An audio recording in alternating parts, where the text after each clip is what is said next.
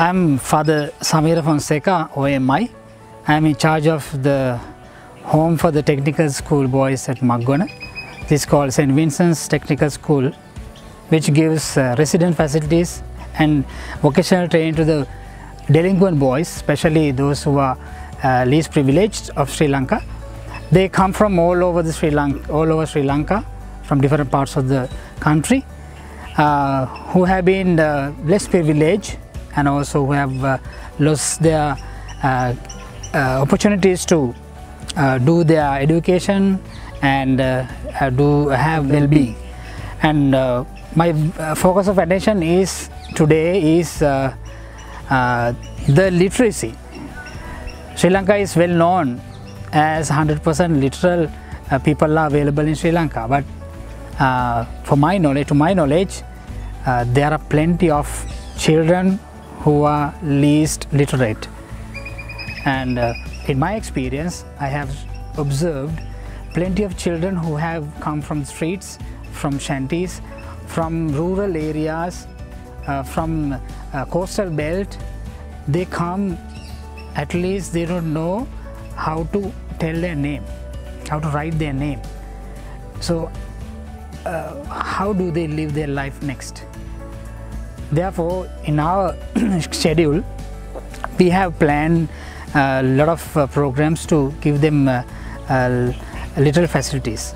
Ma Na De Er Ba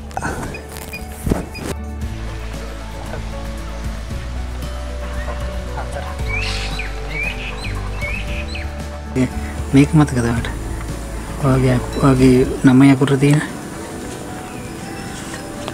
මතකද? මොකද මතකද? කියන්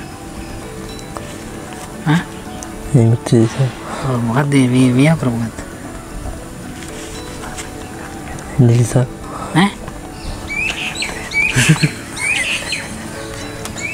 මේ ඉලක්ක මතකද? ඉලක්ක මේ ඉලක්ක මේ මොකද මේ ඉලක්ක එක. එක මේ ඉලක්ක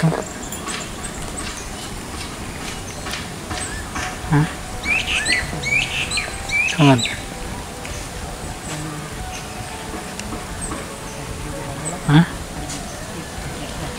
මොකක්ද හත හතර. I'm Anasty Fernando, a resource person. Uh, I'm privileged to conduct lot of programs with the Ceylon Bible Society and I have identified a very critical and a crucial problem in our society as a uh, Sunday school teacher in my area around Colombo. Those who are living in the coastal line, most of the children they don't have the proper facility to educate themselves. Uh, at, at least by up to 8 or 9 grade they sometimes feel it difficult to read write and understand and express their views and ideas. So there is a huge need in our society to uplift the literacy rate though it is uh, in a high rate uh, we can see in all our national uh, statistics when it comes to reality I have found lot of children because of this uh, problem they don't have proper access to uh, read, write and understand.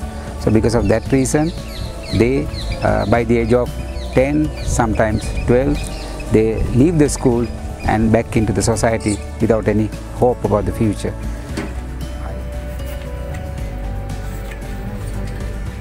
මැවීමනේ දතින් ආයක කියවන්න බා.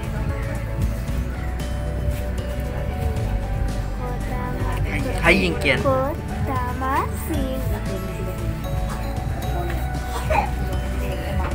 සිව්පාවුන්. කියන්න. කියනවා. සිව්පාවුන්.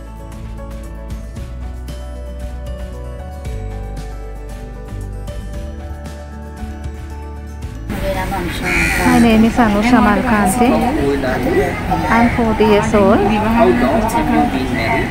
It's been 20 years since I have been married. I have six children. My husband's name is Oshada Pereira. He doesn't have a proper job. My husband is addicted to drugs. My main concern is to give a good education for my six children. They are studying at St. Anthony's College. What grade are they in? My eldest son is grade 11. My eldest daughter is in grade 9. My second daughter is in grade 8. My third daughter is in grade 6. My second son is grade 4. And my youngest daughter is in preschool. I try to provide my children with the best things, but I things, but I find it difficult. We don't have electricity or water. We don't have toilets in our house. But somehow I take my children to school amidst of facing these challenges. I want to see my children in the best position. That is my hope. I uh, hope that we will be able to do something and take some action to uh, facilitate them to come to a better uh, uh, literacy rate. Thank you very much and God bless you. Now I also bless and uh, wish him, wish uh, Ceylon Bible Society all the good, uh, all the blessings for their endeavor in uh, supporting the literacy of the children of Sri Lanka. They may flourish in this mission and uh, let the children who have least privilege earn this uh, great opportunity. God bless you.